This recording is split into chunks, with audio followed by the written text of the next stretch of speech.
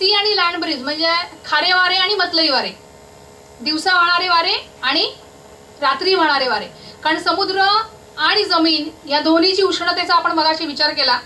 त्याचा विचार करून तुम्ही मला सांगा समुद्राच्या ठिकाणी काय असेल दिवसा? दिवसा कोण लवकर तापेल? जमीन लवकर तापेल पाणी उशिरा तापेल. मग जमीन लवकर तापली वायुभार काय होईल? जमीन तापली तापमान वाढलं वायुभार कमी झाला जमिनीचा. त्यावेळेला पाणी तापलेलं नसणार पाणी थंड असणार वायुभार जास्त. मग वारे कुठून कुठे वाहतील? पाण्याकडून जमिनीकडे. म्हणजे दिवसा वाहणारे वारे काय असणार? समुद्राकडून जमिनीकडे. म्हणून त्यांना काय म्हणतात? खारे वारे. रात्री काय होईल? रात्री जमीन लवकर थंड होईल. जमीन थंड म्हणजे तापमान कमी. तापमान कमी म्हणजे वायुभार जास्त. त्यावेळेला पाणी मात्र काय असतं? उष्ण असतं वायुभार कमी रात्री वारे कुठून कुठे वाहतील? जमिनीकडून समुद्राकडे समजलं दिवसा येणारे खारे वारे म्हणजे कुठून? समुद्राकडून जमिनीकडे. आणि रात्री वाहणारे मतलई वारे जमिनीकडून समुद्राकडे. म्हणजे हे सीझनल म्हणजे हे छोटं रूप झालं. असंच मोठं रूप आपल्याला मोसमी वारे ज्याला आपण म्हणतो ते जमीन कारण भारताच्या तिन्ही बाजूनी काय आहे? पाणी आहे.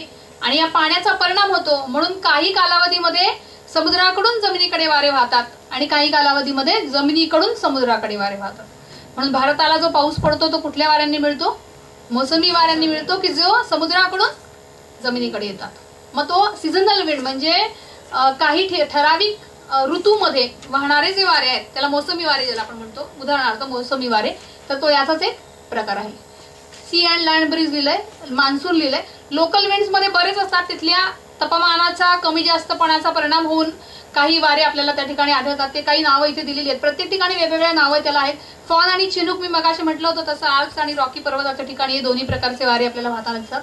असे नाव अनेक नाव आहेत त्यातली काहीच मी इथे घेतलेली सिरोक्य आहे जे मेडिटेरियनमध्ये वाहतात. खामसीन आहे. त्याच्यानंतर बोरा आणि मिस्ट्रल हे थंड वारे आहेत. आणि हे सिरोक्को आणि खामसीन जे आहेत ते उष्ण वारे आहेत. म्हणजे उलट धुळीची वादळ निर्माण करायला हे मदत करतात. आणि हे अतिशय थंड वारे आहेत. खालचे बोरा आणि मिस्ट्रल हे जे आहेत ते कोल्ड विंड म्हणजे ज्याला आपण थंड वारे म्हणतात. असे वाऱ्यांचे विविध प्रकार आहेत. ह्याच्यात आपण डिटेलमध्ये गेलो तर अख्खा वेळ त्याच्यामध्ये जाईल. त्याच्यामुळे हे त्याचे काही प्रकार आहेत वाऱ्यांचे. त्यातलाच एक भाग आपण बघितला तर आर्द्रता. आपण जे अनेक घटक बघितले तापमाना हवेशी निगडीत असणारे त्या हवेच्या निगडीत असणारा आणखीन एक घटक म्हणजे ह्युमिडिटी ज्याला आपण आर्द्रता म्हणतो. आर्द्रता म्हणजेच काय? बाष्प ज्या हवेमध्ये असतं बाष्प म्हणजेच पाण्याचं वायुरूप. ते वायुरूप ज्या हवेमध्ये असतं त्या हवेला ह्युमिड म्हणजे काय? दमट हवा असं आपण म्हणतो की ज्याच्यामध्ये आर्द्रता जास्त आहे. म्हणजे amount of water vapour in the air हवेमधलं बाष्प प्रमाण म्हणजेच आर्द्रता. ही आर्द्रता कशामुळे मिळते? इव्हॅपोरेशनने मिळते म्हणजे बाष्पीभवनाने घेतली जाते आणि प्रेसिपिटेशन म्हणजे पावसाने टाकून दिली जाते. म्हणजेच काय? इव्हॅपोरेशन म्हणजे बाष्पीभवन झालं की काय होतं? पाण्याचं रूपांतर बाष्पामध्ये होतं. आणि पाऊस पडला की बाष्पाचं रूपांतर पुन्हा पाण्यामध्ये होतं. म्हणजे बाष्प तयार कोणामुळे होतं? बाष्पीभवनामुळे होतं. आणि लॉस कशामुळे होतो? त्याचा पावसामुळे होतो. आता वातावरणाच्या दृष्टीने आपण एवढं महत्त्व का देतो ह्या आर्द्रतेला? आपल्या दृष्टीने किंवा आपल्या जीवसृष्टीच्या दृष्टीने किंवा हवामानाच्या दृष्टीने एवढं महत्त्व काय आहे त्याचं? तर सगळ्यात महत्त्वाचा म्हणजे पाऊस जो आहे तो कोणावर अवलंबून असतो? आर्द्रतेवर अवलंबून असतो. हे बाष्प जेवढं हवेमध्ये असतं त्या बाष्पाच्या प्रमाणावर पाऊस अवलंबून असतो. म्हणून सगळ्यात महत्त्वाचा रोल ह्युमिडिटीचा काय आहे तो म्हणजे पाऊस हा त्याच्यावर अवलंबून असतो. हे जे मॉइश्चर आहे किंवा हे जे वॉटर वेपर बाष्प जे आहे ते काय करतं? उष्णता शोषून घेण्याचं सगळ्यात मोठं काम करतं. त्याच्यामुळे ते पण आणखीन महत्वाचं असतं. खाली पण तेच लिहिलंय absorption of heat by moisture म्हणजे बाष्प काय करतं? ही उष्णता जास्तीत जास्त शोषून घेतं. आणि मीडियम म्हणून काम करतं ते. Latent heat into latent heat याचा अर्थ अनद्भूत उष्णता असा शब्द त्याला वापरतात. जी उष्णता आपल्याला दिसत नाही म्हणजे पाण्याचं वाफ होताना पण उष्णता लागते आणि बर्फाचं पाणी होताना पण उष्णता लागते. मग ही उष्णता काय असते? किंवा बाष्पाचं पाणी होताना पण उष्णता बाहेर टाकली जाते. ही उष्णता आपल्याला दिसत नाही. या न दिसणाऱ्या उष्णतेला काय म्हणतात? अनुद्भूत उष्णता किंवा लॅटंट हिट ही जी आहे ती म्हणजे त्याच्यामधलं जे माध्यम आहे ते माध्यम म्हणून हे बाष्प जे आहे ते काम करत असतं. त्याच्यात दोन प्रकार आहेत स्पेसिफिक ह्युमिडिटी आणि रिलेटिव्ह ह्युमिडिटी स्पेसिफिक याचा अर्थ एखाद्या ठिकाणी एखाद्या तापमानाला जेवढं बाष्प त्या हवेमध्ये सामावलेलं असेल ते बाष्प सामावलेलं असणं म्हणजे स्पेसिफिक ह्युमिडिटी आणि प्रत्येक हवेची प्रत्येक तापमानाला सामावून घेण्याची क्षमता असते. त्या क्षमतेचं आणि तिच्यामध्ये असणाऱ्या बाष्पाचं जर आपण रेशो काढला तर तो रेशो म्हणजे रिलेटिव्ह ह्युमिडिटी थोडक्यात सांगते मी पाच किलो गव्हाचा डबा आहे ज्याच्यामध्ये पाच किलो गहू मावतील एवढा डबा आहे. त्यात तुम्ही दोनच किलो गहू टाकलेत तर ती काय झाली त्यावेळेची? स्पेसिफिक ह्युमिडिटी झाली. मग तिची क्षमता आहे पाच किलोची पण त्यात किती पडलेत? दोनच किलो. म्हणजे एखाद्या हवेची समजा दहा ग्रॅम बाष्प सामावण्याची क्षमता आहे त्या तापमानाला पण त्याच्यामध्ये दोनच ग्रॅम बाष्प सामावलेले आहे. तर त्या हवेची त्यावेळची आर्द्रता काय झाली? दोन ग्रॅम झाली. पण समजा तिच्यामध्ये आणखीन बाष्प सामावत गेलं दोनचं तीन झालं पाच झालं दहा झालं तर ह्याचा अर्थ काय झाला? दहाला दहा. म्हणजे तिची जेवढी क्षमता आहे तेवढं बाष्प तिच्यामध्ये सामावलं गेलं. म्हणजे दहा भागिले दहा बरोबर उत्तर किती आलं? शंभर टक्के. म्हणजे तो जो रेशो आहे ते जे गुणोत्तर आहे त्या गुणोत्तराला काय म्हणतात? रिलेटिव्ह ह्युमिडिटी याच्यावरच पाऊस अवलंबून असतो. कारण की पाऊस म्हणजे काय? जेव्हा हे शंभर टक्क्यापेक्षा जास्त होईल आता तुम्ही त्या पाच किलोच्या डब्यामध्ये सहा किलो गहू ओतलेत तर उरलेल्या एक किलो गव्हाचं काय होईल?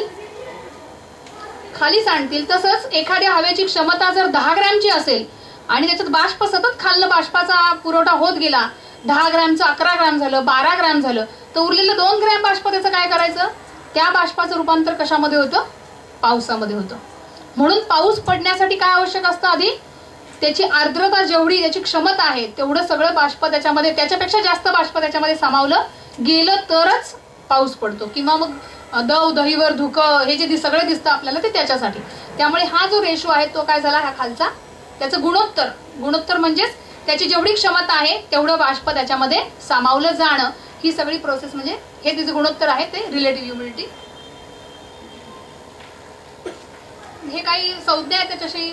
तुम्हाला माहिती आहे बाष्पीभवन माहिती आहे. ट्रान्सपिरेशन याचा अर्थ बाहेर टाकणं पाणी. बाष्प बाहेर टाक बाष्प बाहेर टाकणं. पानं काय करतात? त्यांना पानांना बारीक अशी रंध्र असतात. त्या रंध्रातनं त्यांनी जे मुळातनं घेतलेलं पाणी असतं ते पाणी पानांच्या वाटे बाहेर टाकतात. त्याला काय म्हणतात? ट्रान्सपिरेशन कंडेन्सेशन इव्हॅप ट्रान्सपिरेशन म्हणजे तोच प्रकार आहे. कंडेन्सेशन याचा अर्थ सांद्री भवन मी आत्ता म्हटलं की दहा ग्रॅम बाष्प आहे आणि दहापेक्षा जास्त जास्त बाष्प त्याच्यात सामावलं गेलं. बारा ग्रॅम झालं. तर उरलेल्या दोन ग्रॅम बाष्पाचं काय व्हायला लागतं? त्याचं रूपांतर पाण्यामध्ये किंवा कशामध्ये तरी होतं त्याला काय म्हणतात? सांद्री भवन. कंडेन्सेशन सॅच्युरेशन याचा अर्थ ते बाष्पाचं त्यात पाण्याचं कि रूपांतर बाष्पामध्ये होणं. मेल्टिंग तुम्हाला माहिती आहे वितळणं बर्फ वितळणं. फ्रीजिंग म्हणजे पाण्याचं बर्फ होणं. ह्या सगळ्या काय आहेत? Physical changes of state of water म्हणजे पाण्याचं रूपांतर बर्फात किंवा बाष्पात होण्याच्या ज्या वेगवेगळ्या स्थिती आहेत त्या सगळ्या त्याच्यामध्ये आहेत.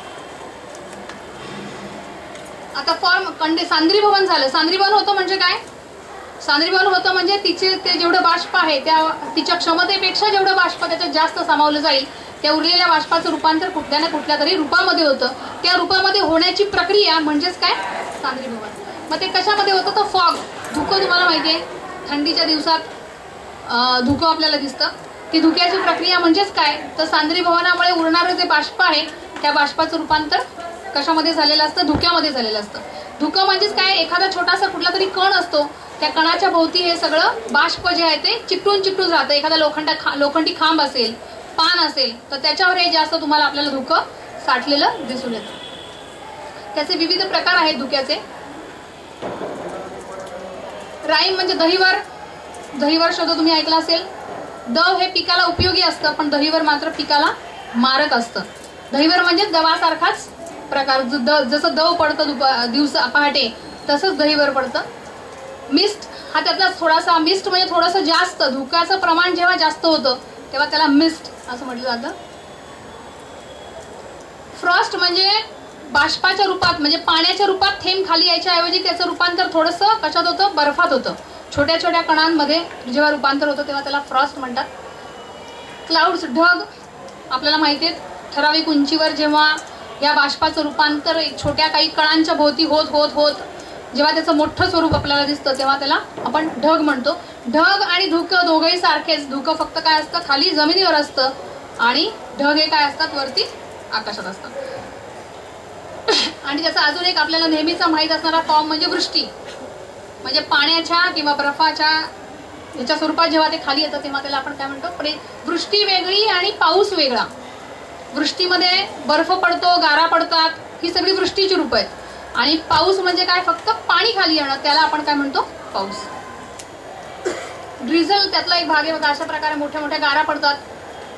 किंवा स्नो जितका हा आकार जास्तीत जास्त वाढत जातो हे ड्रिझल स्नो आणि हेल स्लिट स्लिट म्हणजे पाणी पण पडणं आणि बर्फ पण पडणं.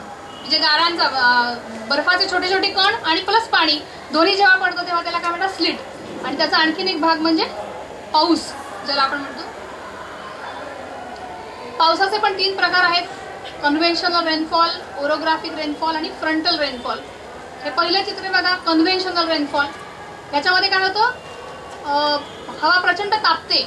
उष्णता प्रचंड ज्या वेळेला जास्त असते तापमान जेव्हा खूप जास्त असतं. अशा वेळेला हवा प्रचंड तापते. आणि तापलेली हवा प्रचंड वेगाने वर जाते. वर जाते आणि थंड व्हायला लागते. थंड झालेली हवा कालांतराने काय होतं? ती खाली येते पावसाच्या स्वरूपात. आणि प्रचंड पाऊस पडतो. एकदम चार नंतर किंवा संध्याकाळनंतर एकदम प्रचंड पाऊस पडतो. या पावसाच्या प्रकाराला काय म्हणतात? कन्व्हेन्शनल रेनफॉल आपल्याकडे बघा आपण वळवाचा पाऊस म्हणतो. मे महिन्यात काय पडतो? जसा वळवाचा पाऊस पडतो त्या प्रकारातच हे असतं. पण हवा प्रचंड तापलेली असते मे महिन्यात. इतकी तापते की खूप आपल्याला गरम व्हायला लागतं. अशा वेळेला हवा तापते प्रचंड वेगाने वर जाते आणि एकदम धोधो पाऊस पडतो.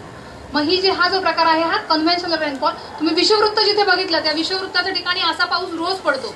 तीनशे पासष्ट दिवस अशा प्रकारचा पाऊस पडतो. म्हणजे रोज संध्याकाळी तिथे काय असतो? पाऊस असतो. कारण की दिवसा प्रचंड तापमान वाढलेलं असतं हवा तापते तापलेली हवा वर जाते आणि संध्याकाळी पाऊस पडतो. हा असा प्रकार जो आहे तो याला कन्व्हेन्शनल म्हणतात. ओरोग्राफिक रेनफॉल म्हणजे आपल्याकडे सह्याद्रीच्या ठिकाण आहे म्हणजे जिथे उंचीचं ठिकाण आहे त्या ठिकाणी एका उतारावर काय होतं? हवा वर चढते. बाष्प संपृक्त असते म्हणजे बाष्प तिने घेतलेलं असतं ही हवा वर वर वर वर चढते. आणि त्या ठिकाणी काय करते ती?